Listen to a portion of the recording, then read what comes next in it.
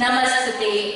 दीप प्रज्वलन के पवित्र प्रथा को कायम रखने के लिए मैं आदरणीय अतिथि महोदय श्री नरेंद्र कुमार जी तथा आदरणीय प्रधानाचार्य महोदया श्रीमती मालिनी दत्ता मैम से दीप प्रज्वलन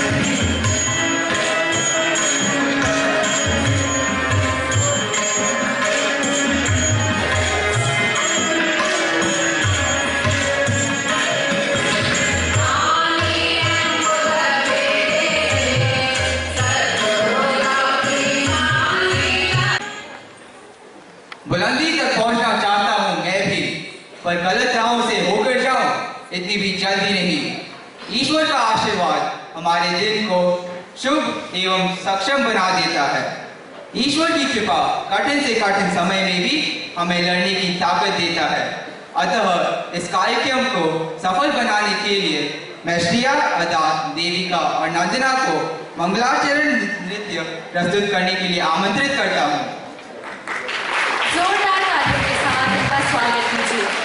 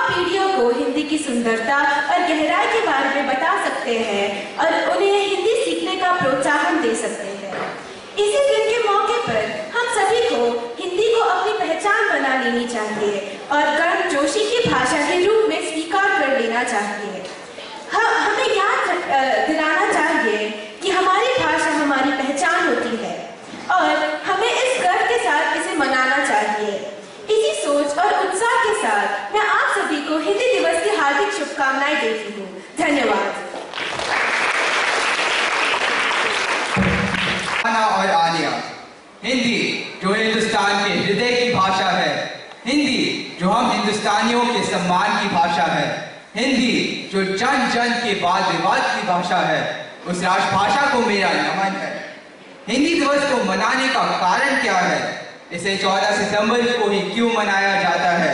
इन प्रश्नों का उत्तर देने के लिए मैं कक्षा नौ एफ़ से रोहिता को हिंदी दिवस का महत्व बताने के लिए आमंत्रित करता हूँ।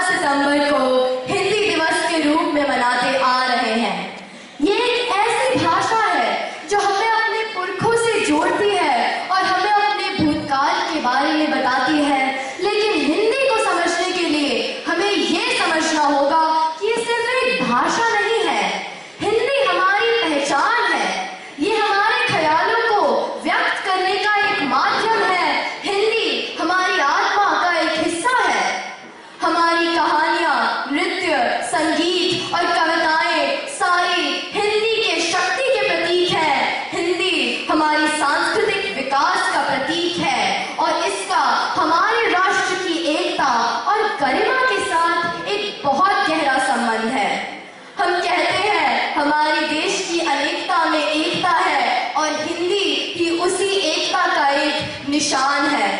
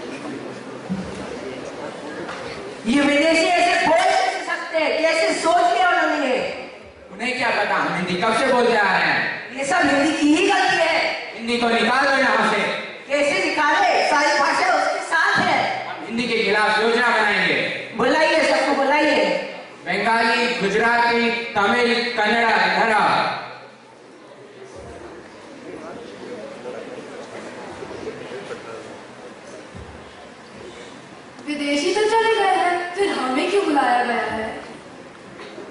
हाँ और हम चार क्यों यहाँ पर हिंदी का है। शांति शांति आपको हम सब बताएँगे। क्या आपको लगता है हिंदी ने कभी आपको नीचा दिखाया है? आपको आपकी रोशनी छीनी है। आपको उभरने नहीं दिया है। बताइए।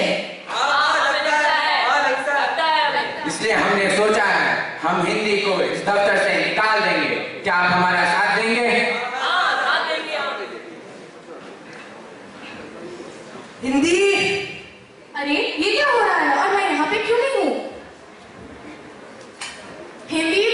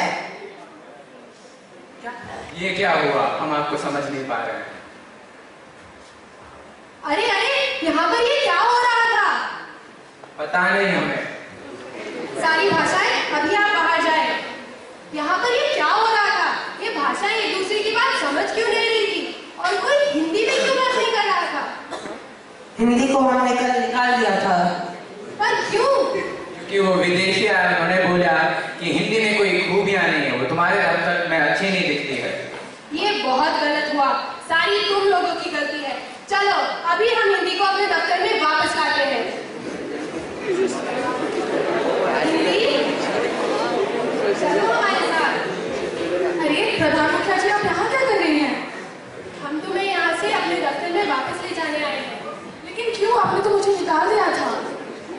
माफ़ करो, थोड़ी भूल हो गई थी, पर अभी हम समझ गए हैं। अभी तुम हमारे साथ चलो।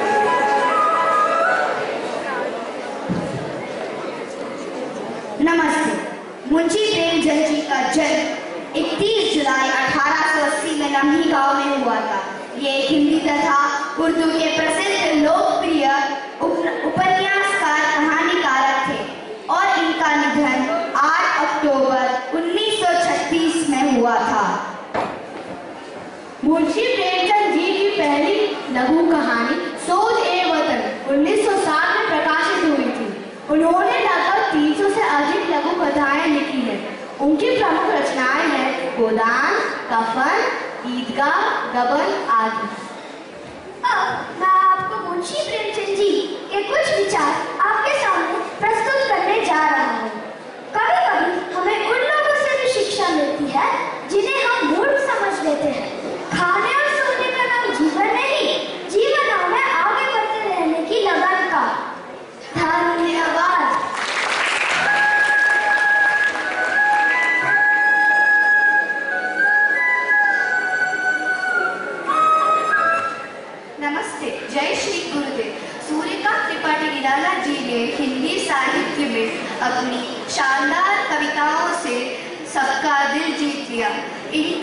कदम 21 फरवरी अठारह को पश्चिम बंगाल में हुआ और इनका निधन 15 अक्टूबर उन्नीस को हुआ।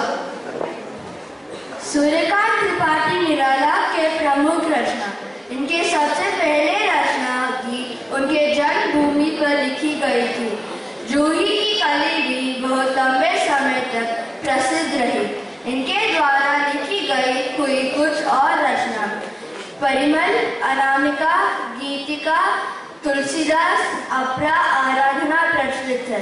सूर्यकांत त्रिपाठी निराला को उनके निधन के बाद भारत का प्रचलित सम्मान पद्म भूषण से सम्मानित किया गया। सूर्यकांत सूर्यकांत त्रिपाठी की कविता नीर की कुछ पंक्तियाँ आज मैं आपको सुनाने जा रहा हूँ। बादल आए रिमझिम बरसे मन में आए, उमंग फिर से। हरियाली फिर लौट आई, पेड़ों का है दिल, पेड़ों का है दिल, मगन फिर से, धन्यवाद।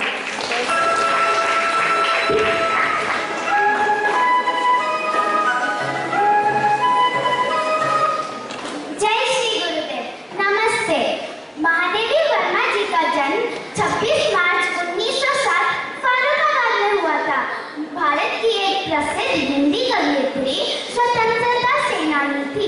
उन्होंने छोटी उम्र से ही कविता लिखना शुरू कर दिया था। उनका निधन 11 सितंबर 1987 प्रयागराज में हुआ था। महादेवी वर्मा जी की पहली कविता संग्रह अमृत बरसे बदरिया 1931 में प्रकाशित हुआ था। उन्हें 1955 में पद्म भूषण और 1977 में पद्म विभूषण मिला था। उनकी सबसे प्रसिद्ध कृतियाँ यम, चाँद का टुकड़ा, जीवन की आजू और जीवन की आशा आदि है। आधुनिक हिंदी सशस्त्र कवित्रियों में से एक महादेवी वर्मा जी को आधुनिक मीरा के नाम से जाना जाता है। उनकी एक कविता, जिसका नाम है अधिकार, उसकी कुछ पंक्तियाँ मैं आपको सुनाने जा रही हूँ। वे मुस्काते फूल नहीं, जिनको आता है मुरझाना, वे तारों के दीप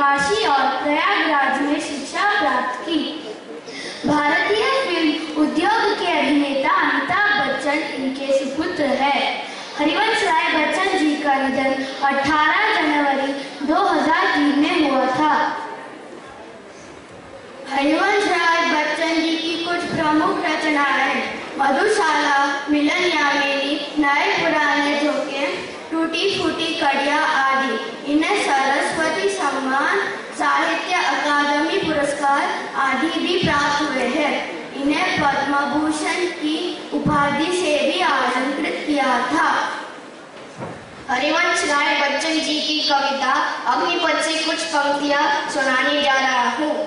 तू ना थकेगा कभी।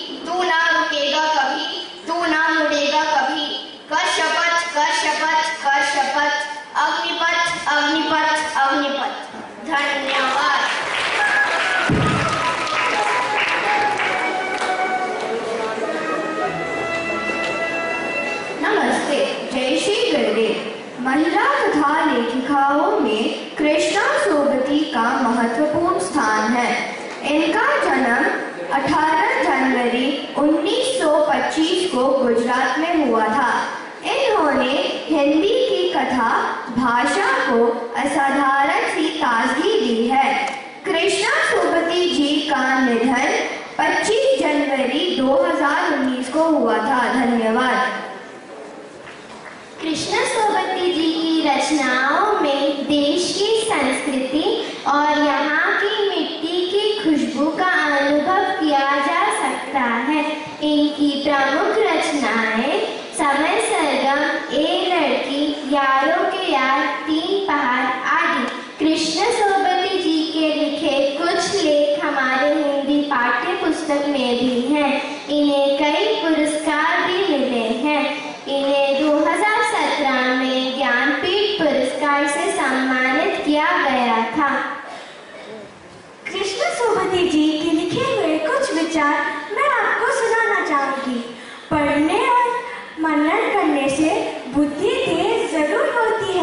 बची कहीं उसमें असली अर्थ उत्पन्न होता है। समय और परिस्थिति कभी किसी के लिए एक सी नहीं रहती। सिक्का हमेशा बदलता रहता है। धन्यवाद।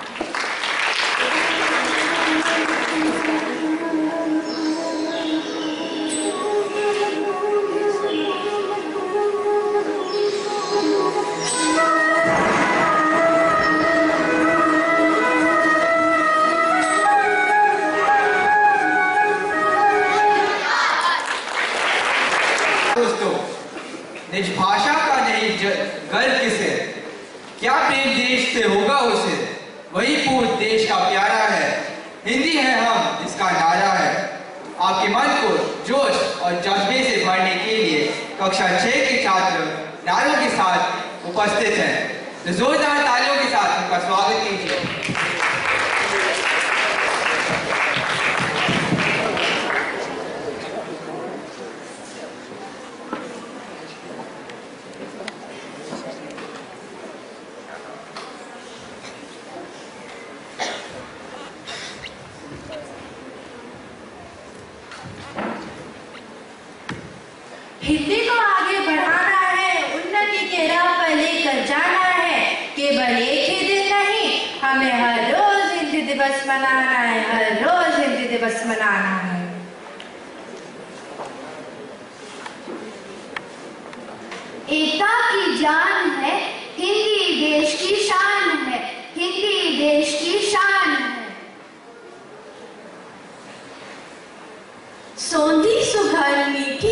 भाषा, गर्व से कहो, हिंदी है मेरी भाषा, हिंदी है मेरी भाषा। पूरे राष्ट्र की आशा है, हिंदी अपनी भाषा है। जात पात के बंधन को तोड़े, हिंदी सारे देश को जोड़े।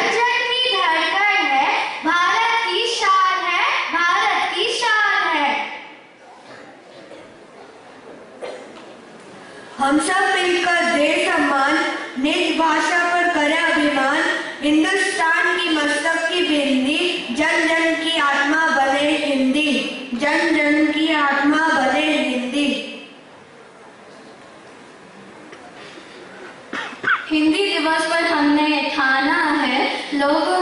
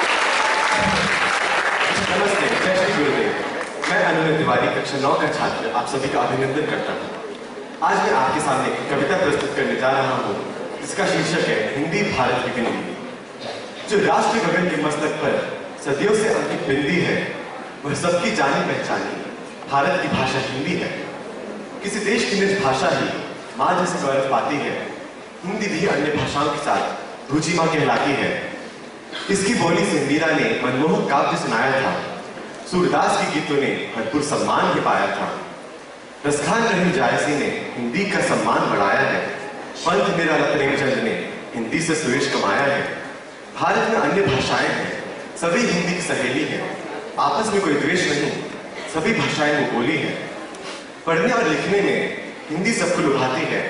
कोई बोले या ना बोले, हिंदी सबको आती है। पूर्व पश्चिम, उत्तर, दक्षिण सभी राज्यों में बोली जाती है। वह राष्ट्र गगन के मस्तक पर हिंदी भाषा कहलाती है। वह राष्ट्र गगन के मस्तक पर हिंदी भाषा कहलाती है।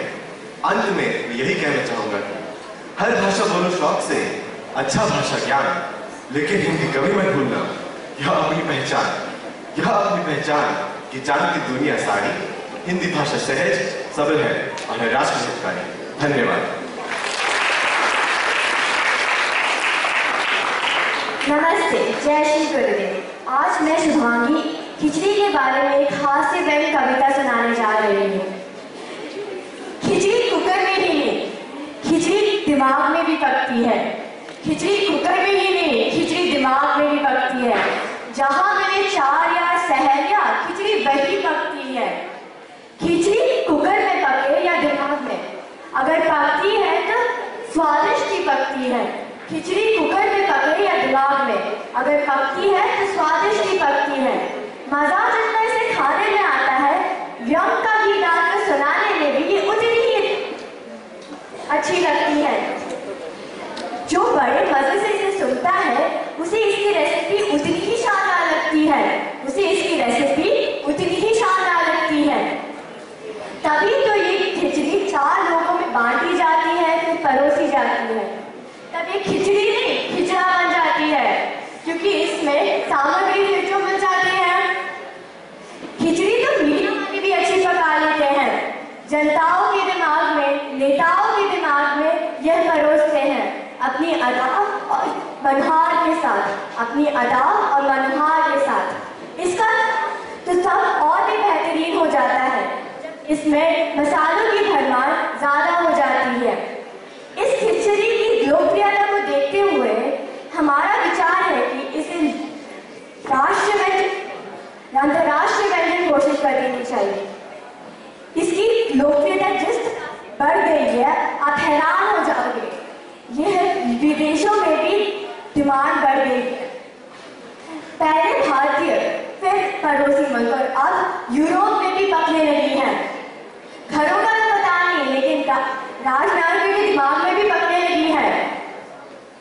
हमने इसे व्यंजन इसलिए कहा क्योंकि ये सारे नामी व्यंजन से सबसे ज़्यादा प्रभावकारी और प्रतिभाशाली है। खिचड़ी दुनिया के ज़ुबान पर ही नहीं दिल और दिमाग पर भी राज करती है। खिचड़ी दुनिया की ज़ुबान पर ही नहीं दिलो दिमाग पर भी राज करती है। धन्यवाद।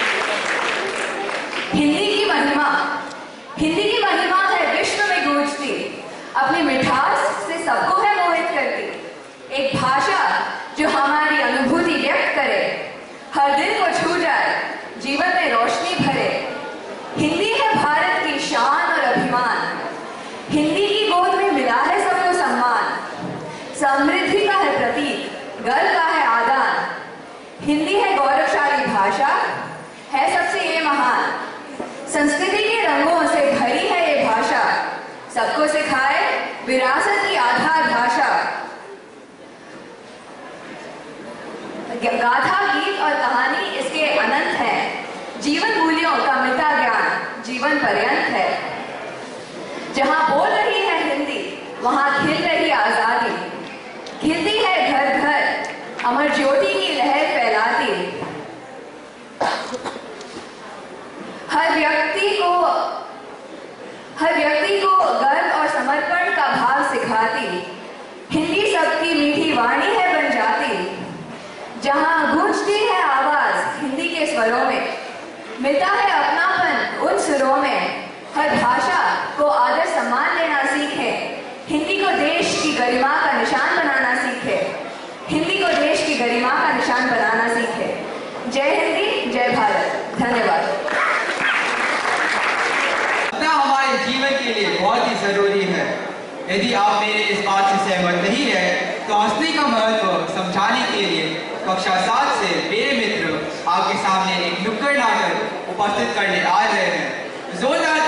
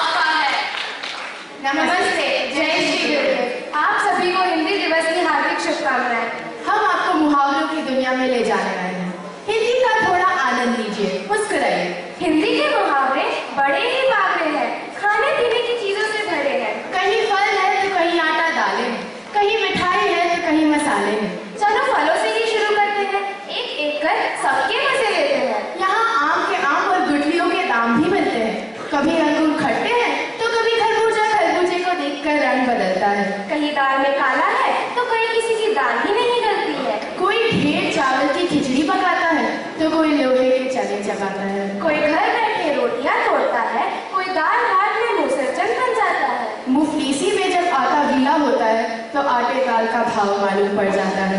सफलता के लिए कई पापड़ बेलने पड़ते हैं। आटे में नमक तो चल जाता है, पर गेहूँ के साथ गुण भी पिस जाता है। गुड़ खाकर गुलगुले से परहेज करते हैं और कभी कभी गुड़ का गोबर कर बैठते हैं। कभी तिल का तार, कभी राय का पहाड़ बन जाता है। कभी ऊट के मुँह में जीरा है तो कभी कोई किसी के जले पर नमक छिड़कता है।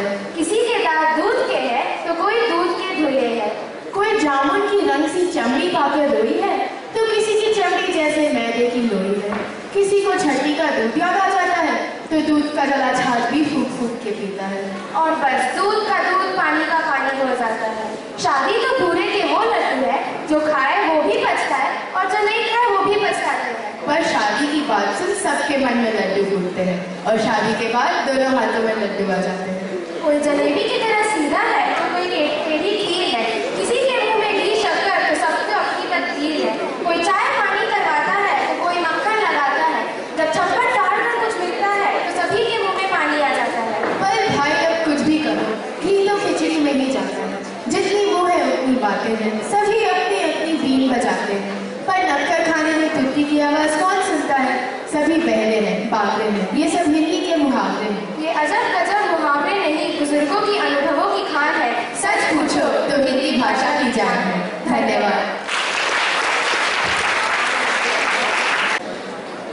धन्यवाद, दोस्तों। महर्षि दयानंद सरस्वती के शब्दों में कहे तो हिंदी के द्वारा सारे भारत को एक धागे में पिरोया जा सकता है।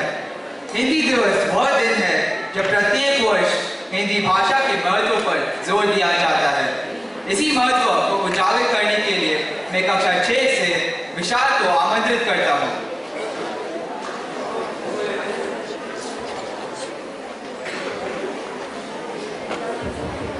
हेलो एक भाषा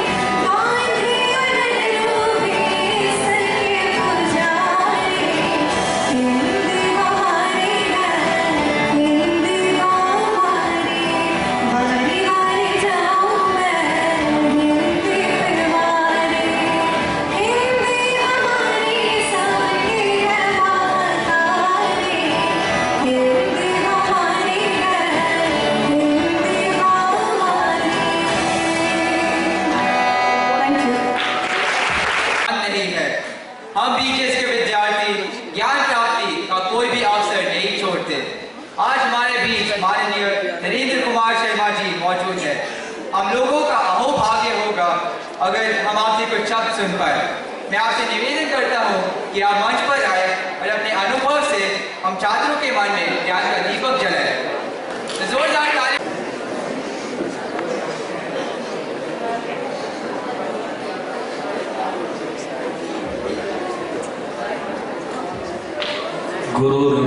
गुरु विष्णु, गुरु देवो महेश्वर, गुरु साक्षात् परब्रह्म। श्री गुरु नमः।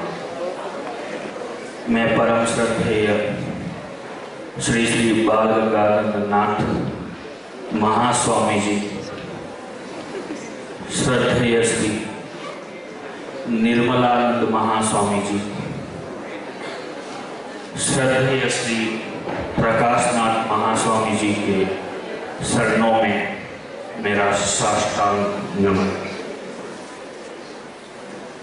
सबसे पहले आपके सामने उपस्थित होने के लिए मैं अपने इस विद्यालय के प्रधान आचार्य श्रीमती मालिनी दत्ता को बहुत बहुत धन्यवाद देता हूँ, क्योंकि उन्हीं के कारण आज मैं आप सबके सामने उपस्थित और उसके बाद मैं हिंदी विभाग को भी धन्यवाद देता हूँ, क्योंकि मुझे इस लायक समझकर, इस बड़े विद्या संस्थान के बड़े कार्यक्रम में मुझे मुख्य अतिथि के रूप में आमंत्रित किया मैं पहले प्रधानाचार्य से अनुमति मांगकर दो तीन शब्द पहले मैं कन्नड़ में कहूँगा फिर बाद में मैं हिंदी में आऊँगा ನಾನು ಓದಿರೋದು ಕನ್ನಡ ಮೀಡಿಯಮಲ್ಲಿ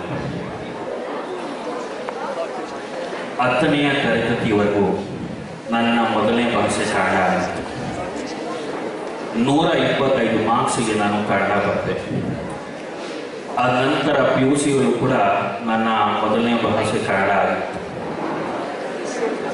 ಆದರೆ ದೇವರದೇ ನಾನು ಹಿಂದಿ ಕ್ಷೇತ್ರಕ್ಕೆ ಬಂದೆ आज मैं अगर हिंदी क्षेत्र में नहीं आता या हिंदी शिक्षक नहीं बनता तो आप सबके सामने मैं नहीं होता। और इसी के साथ मैं एक सुविचार में कहना चाहता हूँ, तुम गिर कर भी उठते रहना, कुछ भी हो बच सकते रहना। ठोकरे कब तक रास्ता रोक पाएगी? अगर कोशिशों में जान है तो किस्मत भी पलट जाएगी, किस्मत भी पलट जाएगी। अब मेरे पास कोई हिंदी के महत्व के ऊपर बोलने के लिए कोई शब्द ही नहीं रखा। यहाँ पर मैंने देखा नुक्कड़ नाटक में एमपी डाल दिया। गाने में हिंदी का महत्व डाल दिया। गांधी जी जवाहरलाल नेहरू की महिमा बता दी। मेरे जो सारे भाषण में लिख के आया था, वो सारा तो यही बता दिया। फिर भी मैं अपनी कोशिश करूँगा। एक दौर में सबको जो है थी वह है हिंदी। हर भाषा को सगी बहन जो मानती, वह है हिंदी। हिंदी हमारी आन है, हिंदी हमारी शान है। हिंदी हमारी चेतन, वाणी का शुभ वरदान है। चेतन, वाणी का शुभ वरदान है। अब मैं ज़्यादा हिंदी के बारे में, महत्व के बारे में बताए बिना, मैं अपने अनुभवों को ही आपके सामने प्रस्तुत करूँगा। अब सारा पता ही है कि हम चौदह सितंबर को हिंदी दिवस के रूप में मनाते हैं। क्योंकि इसी के दिन हिंदी को राजभाषा के रूप में घोषित किया था। और इसी को ही लोकतांत्रिक भाषा के रूप में भी अपनाया गया लोकतांत्रिक भाषा का अर्थ केंद्र सरकार की जो भाषा है वो हिंदी अब उसके बाद में एक अनुच्छेद के ज़रिए अनुच्छेद तीन सौ तैतालीस के ज़रिए हिंदी हमारे देश के सामाजिक, राजनीतिक और आर्थिक जीवन का महत्वपूर्ण हिस्सा है। और उसी को भारतीय संविधान के आधार पर हिंदी को राजभाषा का दर्जा दिया। अब ये दिमाग में आता होगा पूरा हिंदी हिंदी हिंदी क्यों? जब हम विदेश जाते हैं तो वहाँ पर सबसे बोली जो भाषा बोली जाती है, या भारतीय बोलते हैं, वो आपस में हिंदी ही बोलते हैं। अब ऑस्ट्रेलिया जाते बच्चे पढ़ने के लिए भारत से, वहाँ ये समझ के जाते हैं कि हम बाहर जा रहे हैं आईजी आईबी ले रहे हैं हमें क्यों हिंदी की आवश्यकता है? लेकिन जब वहाँ बाहर जाते हैं तो सभी देश के विद्यार्थी अपने अपने देश की भाषा ही बोलते हैं। जैसे वो जापान का जापानीज हुआ, चाइना का चाइनीज़। चाइना में बात करते हैं। फ्रांस का फ्रांस में बात करते हैं। और लेकिन जब भारत के विद्यार्थी मिलते हैं तो इंग्लिश में बातें करते हैं, सबको समझ में आ जाती है या अपना अपमान समझते हैं। तब उनको समझ में आता है कि हमें हिंदी बोलनी चाहिए, हमें हिंदी सीखनी चाहिए। तो वो बच्चे वापस कभी छुट्टियों में आते हैं। तब वो हिंदी सीख के वापस ऑस्ट्रेलिया अपने छुट्टियों के बाद जाते हैं और वहाँ पर गर्व से हिंदी बोलते हैं। और इसके सिवा हिंदी कौन से कौन से देशों में बोली जाती है या पढ़ाई जाती है, इसके बारे में थोड़ा सा बता देता हूँ। हिंदी सोसाइटी सिंगापुर द्वारा चौपन फिफ्टी फोर स्कूलों में पैरेलल हिंदी प्रोग्राम पढ़ाया जाएगा सिंगापुर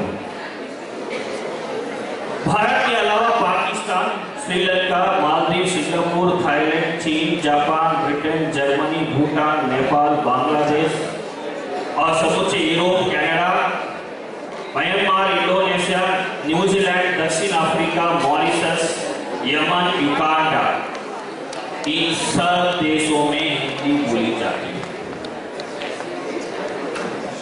और इसके अलावा 150 विश्वविद्यालय यूनिवर्सिटियों में हिंदी पढ़ाई जाती है। 150 यूनिवर्सिटियों में हिंदी पढ़ाई जाती है। आप लोगों ने आईजीसीएसई सुना होगा, पाठ्यक्रम एक है। IGSC IGCSE new Cambridge university का पाठ्यक्रम है। उसमें भी हिंदी पढ़ाई जाती है। उसके अलावा आईडी इंटरनेशनल ब्यूरोक्रेट्स वो भी एक पाठ्यक्रम है, उसमें भी हिंदी पढ़ाई जाती है। और इन दोनों बोर्ड में भारत की एक ही एक भाषा चुनी गई है, वो है हिंदी। इसीलिए हमें हिंदी पढ़ना है और हिंदी सीखना मैं कोई लेखक नहीं हूँ, मैं कोई कवि नहीं हूँ। मैं खाली हिंदी का एक सेवक हूँ और माँ भारती का सेवा कर रहा हूँ, हिंदी पढ़ाते और इसके अलावा ही हिंदी क्या कर रही अभी? आदरणीय प्रधानमंत्री नरेंद्र मोदी जी जहाँ कहीं भी भी जाते हैं वसुदेव कुटुंब की भावना लेकर जा रहे हैं। सारे देशों को जोड़ने के लिए हिंदी में ही बातें करें। और इतना ही नहीं, मैंने अभी एक गाना या नृत्य देखा, जिसमें हिंदी भाषा भारत की भाषा एक नृत्य था ये जो नृत्य जो गाना था, जब इसे लॉन्च किया गया, मेरा सौभाग्य था कि मैं उस लॉन्चिंग प्रोग्राम में था। और ये दिल्ली में लॉन्च हुआ था। और उसमें सुषमा स्वराज जी उपस्थित थे। और ये जो गाना मॉरिशस में होने वाले अंतरराष्ट्रीय हिंदी सम्मेलन के इस गाने को लॉन्च किया गया। तो ये तो हो गई हिंदी के महत्व अब प्रश्न आता है हिंदी क्यों पढ़ना?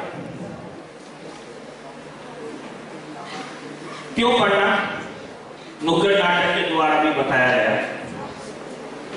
और अनेक बोलियों के जो दफ्तर है, उसमें भी हिंदी के महत्व को बताया गया कि क्यों हिंदी लेकिन पढ़ने से क्या फ़ायदा ये कभी किसी ने सोचा है?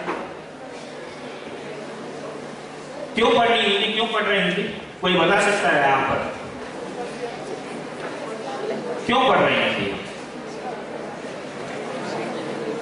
सर, अच्छे मार्क्स आने हैं। सीबीएसई बोर्ड में परीक्षा रखी गई है, इसलिए हम हिंदी पढ़ रहे हैं। सही है? जने सही मानते हैं? हाथ उठाओ। अधिक से ज़्यादा मेरे साथी यही मानते हैं कि सीबीएसई बोर्ड ने हिंदी रखा है इसलिए हम बलपूर्वक हिंदी पढ़ रहे अब हाथ नीचे करो। केजीएफ पिक्चर किसने दी वाह सुपर एक,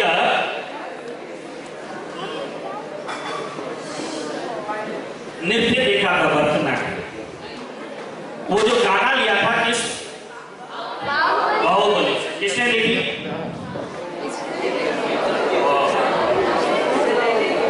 एक अपनी कन्नड़ संस्कृति के ऊपर एक पिक्चर अपनाया, बनाया गया। कांतारा किसने देखी सुपर। आगे इन जो पिक्चर है, मैंने नाम लिया है, इतनी प्रसिद्ध क्यों हुई पता है? बाहुबली पहले बनी थी तेलुगु में। कांतारा बनी थी, मूल रूप से कन्नड़ की है केजीएफ कन्नड़ की है, और उसके अलावा आरा, जिसे कौन सा पुरस्कार मिला है ऑस्कर मिला है तो ये आरा किस भाषा में थी तेलुगु में लेकिन विश्व प्रसिद्ध बनने के लिए उसे हिंदी में अनुवादित किया गया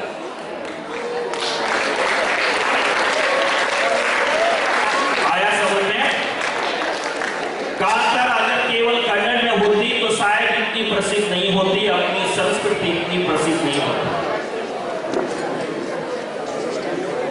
मैं एक बार नेपाल गया था कुछ कार्यक्रम था अब नेपाल के अंदर एक टैक्सी ड्राइवर गाना लगाया था केजीएफ का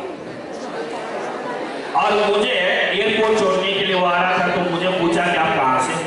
मैंने बोला भारत से? फिर पूछा, भारत में कहाँ से? मैंने मैंने बोला, बेंगलोर से। अच्छा आप बेंगलोर से हैं? तो सर, मैंने तो केजीएफ तीन बार। अब नेपाल का टैक्सी ड्राइवर बार केजीएफ देखता है और उसमें जो एक्टिंग की गई है, उसकी प्रशंसा करता है तो यही हिंदी का महत्व है।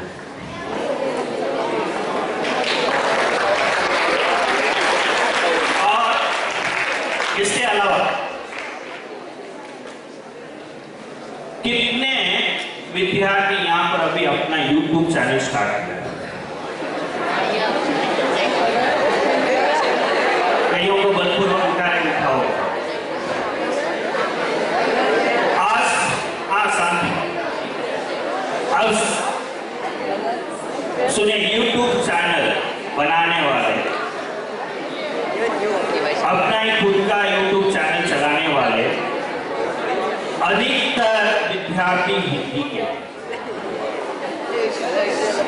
लाखों करोड़ों रुपए अपने चैनल से कमा रहे ब्लॉग किसका है? कोई ब्लॉग राइटर है? आज ब्लॉग राइटर में भी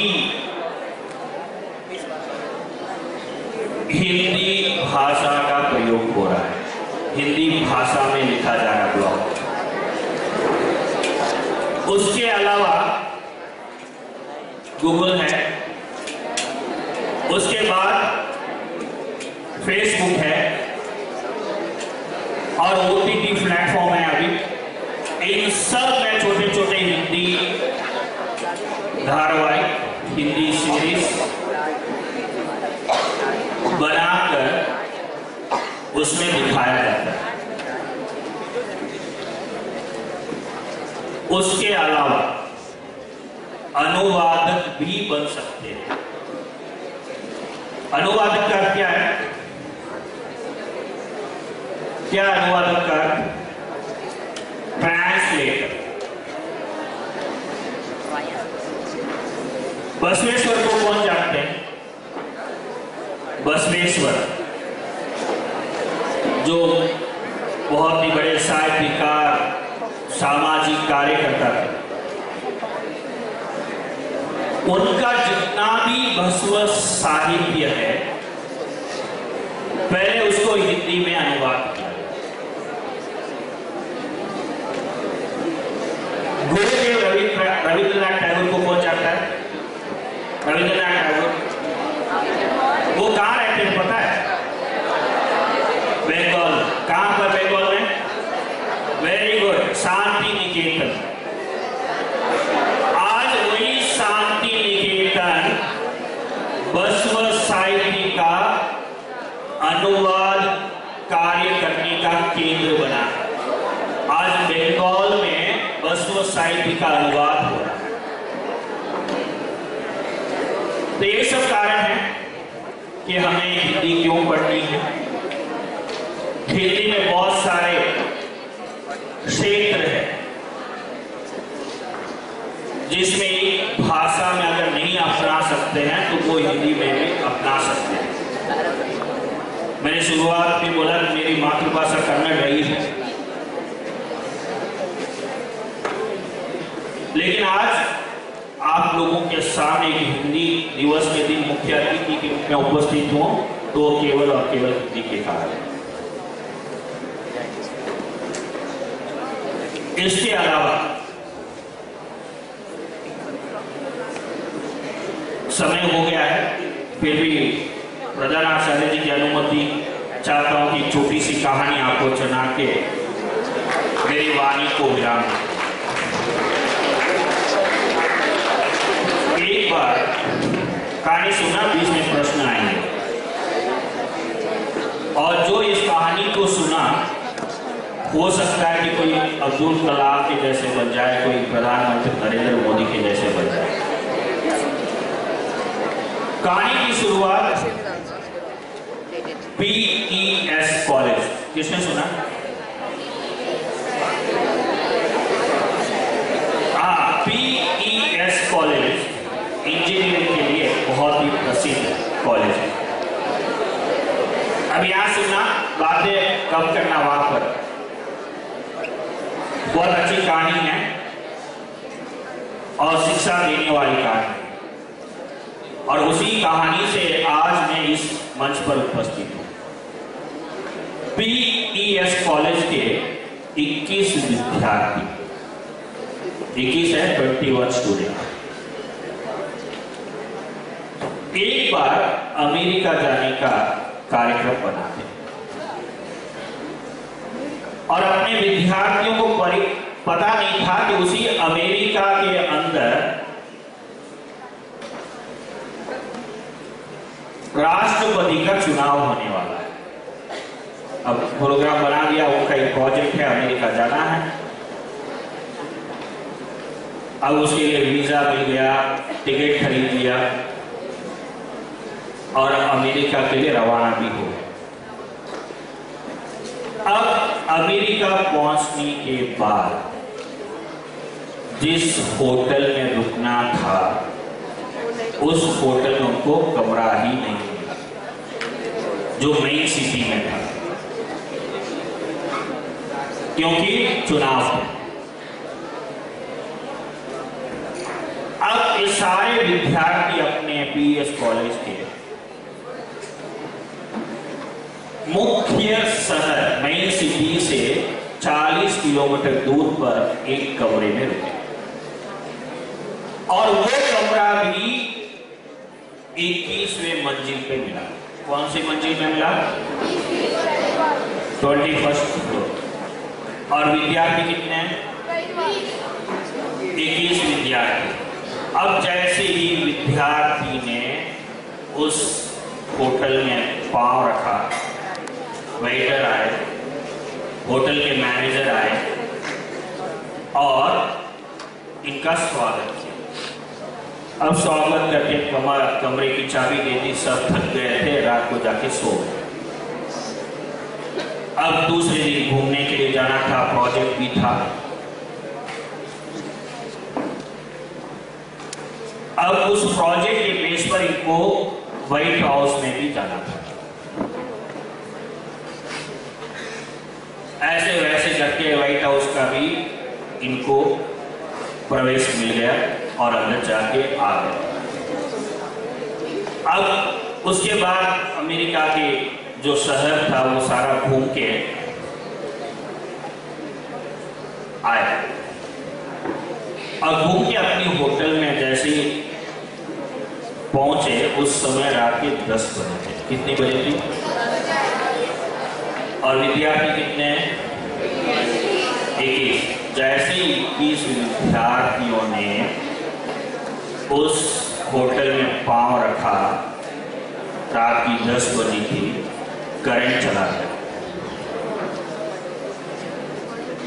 अब जब करंट चला गया तो होटल मालिक से पूछा कि आप जनरेटर क्यों ऑन नहीं कर रहे? अब होटल मालिक ने कहा कि आज जनरेटर भी खराब है। क्योंकि आज चुनाव है तो हमें डीजल नहीं मिला और पूरी ट्रैफ़िक थी तो हमने कोई व्यवस्था नहीं किया, कर पाए। अब करें क्या?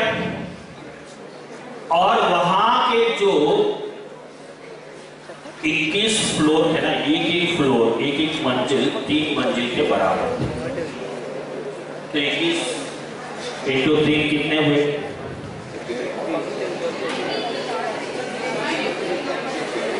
सिक्सटी थ्री होते हैं अब चढ़ना है। अब सारे विद्यार्थियों ने सोचा कि कब करंट आएगा और कब हम ऊपर अपने कमरे में जाएँगे। हम पहले थक चुके हैं। तो एक उपाय करते हैं कि क्यों ना हम में से बारी बारी से एक एक कहानी सुनाते चले। अब 21 ने 21 के 21 विद्यार्थियों ने मान लिया। ठीक है, कहानी बताते जाए। अब एक ने भगत सिंह की कहानी बताई, एक ने शिवाजी की बताई, एक ने जो सामाजिक कहानी बताई। अब ऐसे करते करते अंत में 20 मंजिल तक पहुँच गए। और 20 विद्यार्थियों की कहानियाँ खत्म हो अब कितना मंजिल बाकी है? विद्यार्थी कितने बाकी है? कहानी कितनी बाकी है?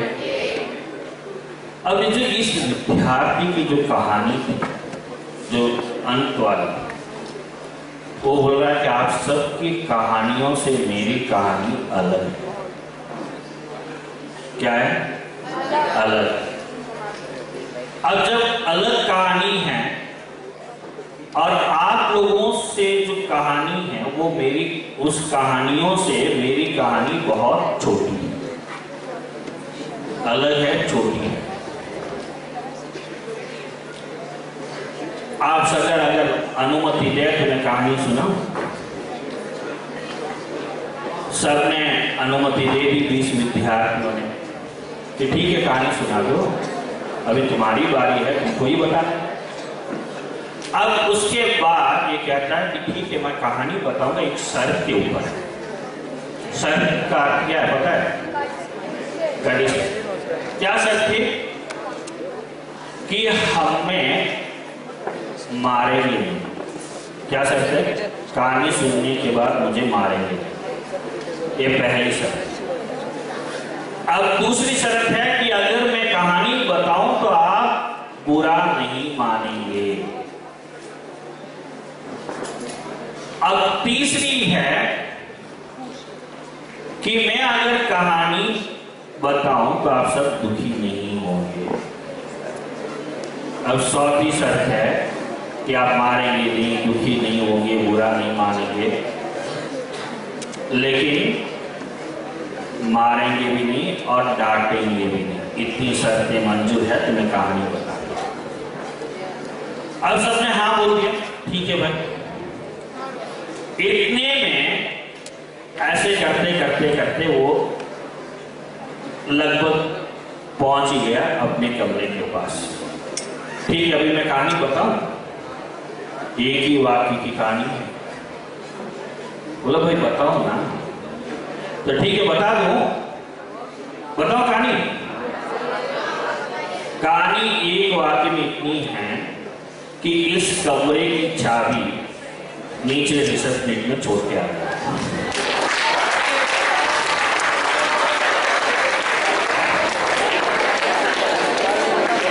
क्या कहानी है? इस कमरे की चाबी मैं नीचे छोड़ के आ गया। अब बोले, ठीक है भाई, तुमको डांटेंगे नहीं। तुम्हारे ऊपर गुस्सा नहीं करेंगे। तुम्हारे ऊपर हम बुरा नहीं मानेंगे। तुम्हें मारेंगे नहीं। हम सबका एक काम तुमको करना है। क्या है? खुद नीचे जाओ और चाबी ले जाओ। अब बेचारा अकेला गया नीचे और अकेला ही ऊपर चढ़ा, फिर चाबी खोली जितने में करेगा। अब इस कहानी का मूल भाव क्या? यही है कि आज हमने हिंदी दिवस मनाया। अपने विद्यालय के शिक्षक हमें पढ़ा रहे हैं। उस विद्यालय की चाबी। और दूसरी चाबी है गुण अच्छे गुणों वाली चाबी। ये दोनों चाबियाँ हमें कभी ज़िंदगी में नहीं भूलनी चाहिए। और वो जो दरवाज़ा है, वो जो कमरा है, दसवीं के बाद हम बाहर जाएँगे, कुछ बच्चे। या बारहवीं के बाद बाहर जाएँगे, पढ़ने के लिए। और पढ़ाई के बाद हम काम पर जाएँगे। अगर अच्छे गुण ना हो, अच्छी विद्या की चाबी ना हो तो हम विश्व रूपी दरवाजे के अंदर या उस कमरे के अंदर नहीं जाए, जा पाए। तो इस चाबी को हमेशा अपने पास रखना है। अच्छे गुण अपनाने हैं, अच्छी विद्या अपनानी है, और आगे अपनी मेहनत करते जाना है। और एक न एक दिन हम कहीं ऐसे ही महान नेता या अभिनेता या सिनेमा में या कई कंपनियों में बड़े बड़े डायरेक्टर पोस्ट पे रहेंगे तो इतना कहकर अंत में इन पंक्तियों के द्वारा अपने शब्दों को विराम देता हूँ। हिंदी है हम वतन है हिंदुस्तान हमारा हवा। सारे जहाँ से अच्छा हिंदुस्तान हमारा तो हमें हिंदी को नहीं भूलना है। और इसी के साथ मैं एक और थोड़ी सी घटना बता देता हूँ, महात्मा गांधी जी की। जब स्वतंत्रता के पहले लड़ाई लड़े, तब गांधी जी तमिलनाडु आए, कर्नाटक आए तो उनकी भाषा, उनका भाषण किसी को समझ में नहीं आया। तो उन्होंने सोचा कि अगर भारत को एक सूत्र में बांधना तो हिंदी को अपनाना पड़ेगा। तभी उन्होंने अपने बेटे रामदास को तमिलनाडु में भेजा और दक्षिण हिंदी प्रसार सभा की स्थापना कराई और वहाँ पर हिंदी प्रचार प्रसार का कार्य शुरू हुआ। उसके बाद भारत जुड़ा, सारे राज्य जुड़े और उसी के बाद भारत को आज़ादी मिली। तो ये दिमाग में रखते हुए हम आगे हिंदी पढ़ेंगे और यह नहीं कि अभी अंक के लिए पढ़ेंगे, अपनी ज़िंदगी के लिए भी पढ़ सकते हैं तो इतना ही कहते हुए मैं आप सबको हृदय से धन्यवाद और आभार प्रकट करता हूँ।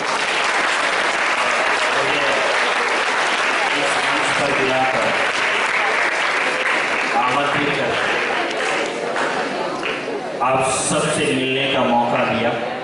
उसके लिए मैं हिंदी विभाग और प्रधानाचार्य को भी बहुत बहुत धन्यवाद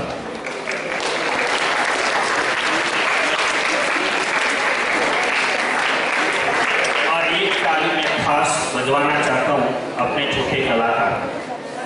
प्रमोद।